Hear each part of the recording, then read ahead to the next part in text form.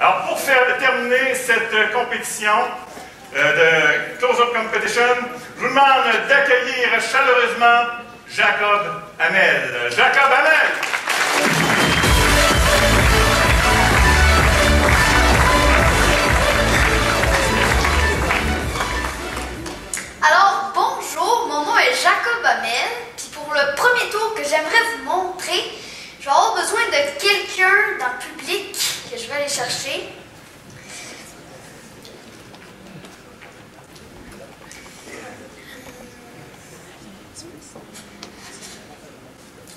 Vous.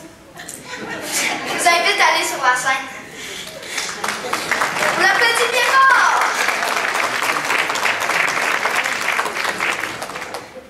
Vous pouvez vous asseoir. Alors, euh, c'est quoi ton nom? Michel. Alors, Michel, j'ai une question à te poser. Est-ce que plus tard, on va pouvoir voyager dans le temps? Peut-être? Non? Mais il y, a des- il y a des gens qui disent oui, peut-être, mais t'as dit non. En fait, je vais, je vais te prouver que ça se fait. Avec un paquet de cartes rouges, où toutes les cartes euh, sont différentes. Voilà. Puis en fait, pour faire ça, je vais avoir besoin de toi pour me dire stop quand tu veux. Stop. Prends la carte. Tu peux la montrer au public. C'est correct? Tu me dis stop quand tu veux. Place la carte. C'est bien ta carte? OK. Donc maintenant, ta carte va voyager dans le temps de 10 à 20 ans plus tard.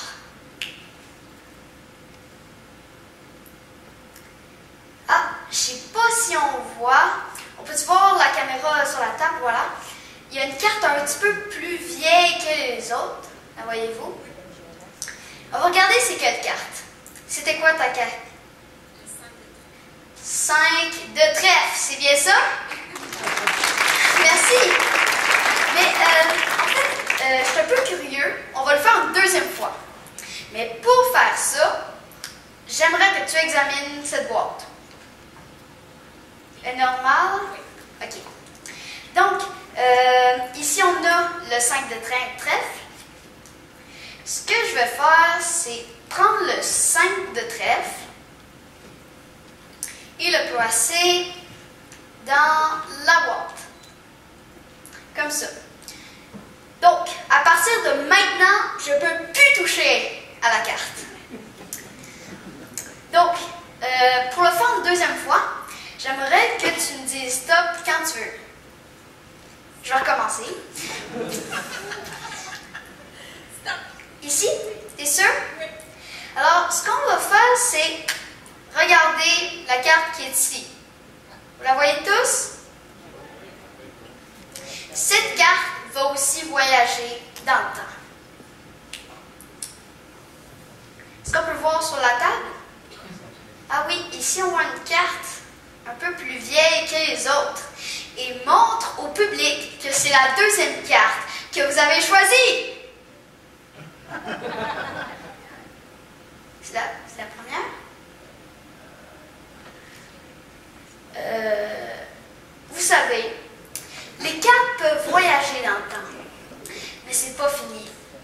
Elles peuvent aussi voyager dans l'espace. Merci. C'est bon, hein? Mais, tu sais, là, on parle de tant d'années de futur, de passé, de plein d'affaires compliquées. Donc, euh, on est quel mois, là? Avril? Tu me fais. euh, en fait, c'est quel tour que les personnes ils font en avril? C'est ça, poisson d'avril? En fait, tu me fais penser. euh, je suis allée dans une poissonnerie un peu spéciale ces derniers temps. Connais-tu ça, la poissonnerie Ça sent-tu? Connaissez-vous ça? En tout cas, si vous en voulez, appelez au 11 sans fiche. Mais bon, de toute façon, on s'en fiche, fait que c'est pas grave. Puis, euh, tu remarques-tu ça sent? Ça sent-tu? Non, t'es t'es sûr? Sans un trou? Oui, oui, oui, ça sent. Ça sent? Qu'est-ce que tu penses qu'il y a dedans? Poisson. Tu veux ouvrir doucement? Vraiment doucement, toi, là? Ouh là là! Ah, il est vivant, il est vivant, il est vivant! Il est vivant! Ah! Ouf! Là, il est assommé! Ouf! Oh, regardez! On a même de la bombe à poisson!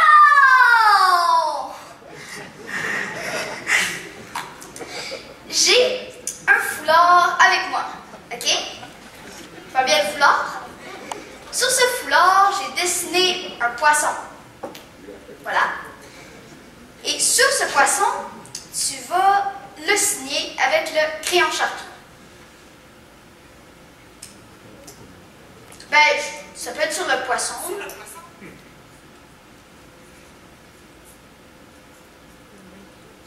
Oh, ok. Parfait, donc on voit bien que c'est un foulard signé. Vous le voyez tous?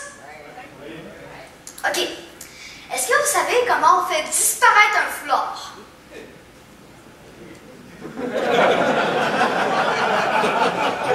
Non? Je- En fait, il y a deux manières pour faire ça. Il y a la manière des apprentis magiciens et la manière des magiciens un peu plus avancés. OK? Donc, je vais vous montrer celle des apprentis magiciens. Un, deux, trois. Ouf! Disparu! Mais bon, que c'est pas vraiment une manière de faire disparaître un foulard. Hein? On s'entend? Donc, je vais vous montrer la manière des magiciens un peu plus euh, élevée. OK? Vous voyez le foulard? Vous voyez tous? OK. Ce que je fais, c'est le prendre.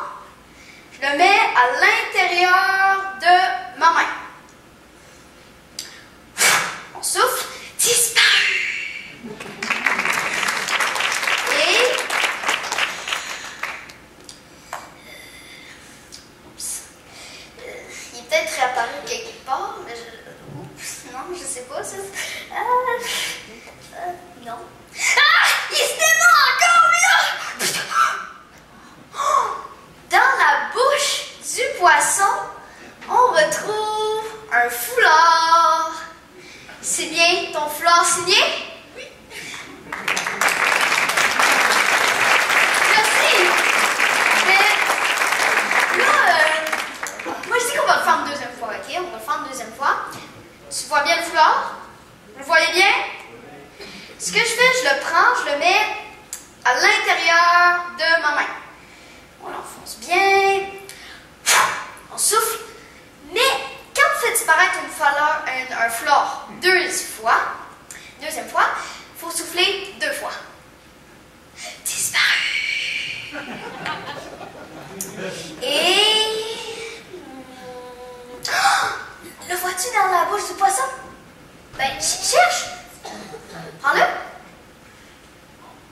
Attends, attends, Vas-y, le cherche. Ben, attends, attends, attends. Mon- Montre-moi, montre-moi, montre-moi.